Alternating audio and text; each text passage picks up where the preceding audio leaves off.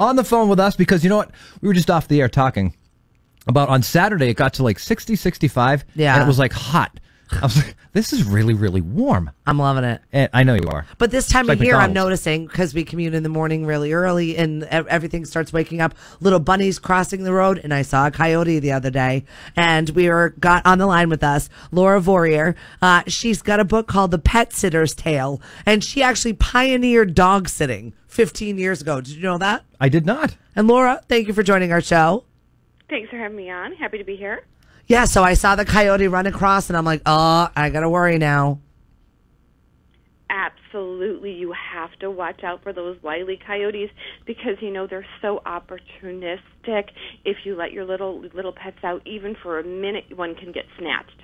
So you have to be very extra cautious of coyotes, especially in the springtime. There's a lot of animals waking up from hibernation, coming out from their long winter's nap, and they're looking for food. So definitely, definitely keep an eye on your small pets and your big ones as well. Yeah, there are a lot of people, especially around the Cape, love to get out. People who move to the Cape want to do it because they like the outdoors and they love walking their pets, their animals on the beaches or just on trails. Yeah, we're pet freaks here. We are. So we thought this would be a great segment for our show. So can you warn people or tell people as to what they can possibly avoid or how to avoid, you know, getting their animal attacked?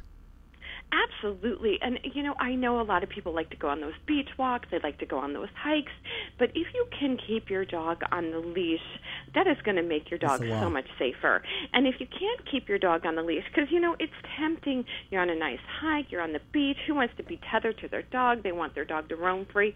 Make sure your dog will come back to you when you call them. That is so important and might even save their life because what happens a lot of times with coyotes is they send that one coyote scout out, you know, the younger pup, and to a dog it looks friendly and it looks like maybe a German shepherd or another dog and it'll want to go play with that dog. And then what happens is, you know, as soon as it gets away from its people, then the other coyotes will come and surround it and, you know, then that's I know the a lot about dog. coyotes and I didn't know that. Oh, yeah? Yeah, I didn't know That's that. one of the oh. stories that Laura had in her book.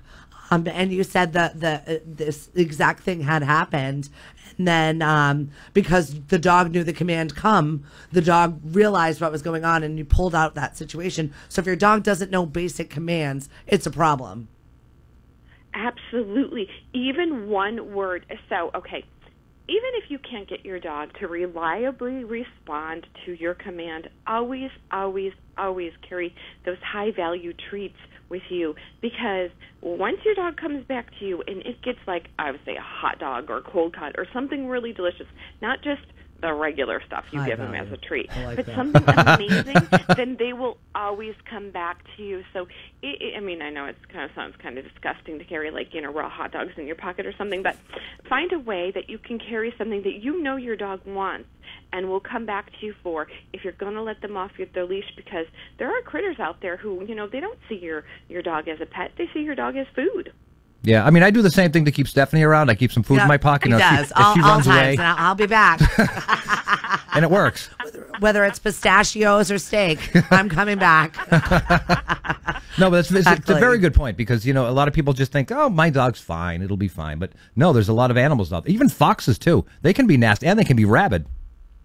Oh yeah, foxes, opossums, and uh, raccoons. Oh my goodness, have you have you ever encountered a mama raccoon? You know, forget the mama bear. You got to watch out for that mama raccoon because she's got those little babies to protect. And if you accidentally, you know, let's say in the middle of the night, you you open your your back door and you see the raccoons are out there, oh my gosh, they will fight you to the death if they think that they're being threatened or their little ones are being threatened. So always take a peek out in your backyard, turn out the light, turn on the lights in the in the nighttime before you let your pets out if they have to go out in the middle of the night because you know on the nighttime that's when the critters come out and they're doing the stuff that we do normally during the day. Right? No, I've done. I do that. I make sure I put on the light because if I don't, I do it because there's usually a rabbit out there, and I don't want Carolina to go chasing a rabbit. But right, it could be a raccoon or a possum with those teeth. Po- Oh, possums so are nasty. Things. So many things can be out there. So definitely leave your dogs on the leash when you take them on walks. And if you can, just use a regular lead. You know, I never recommend retractable leads because it's so easy for them to spring away from you, to break, and to just not be able to control your dog. So you never want to be in a situation where you're walking your dog and they just take off and you never see them again.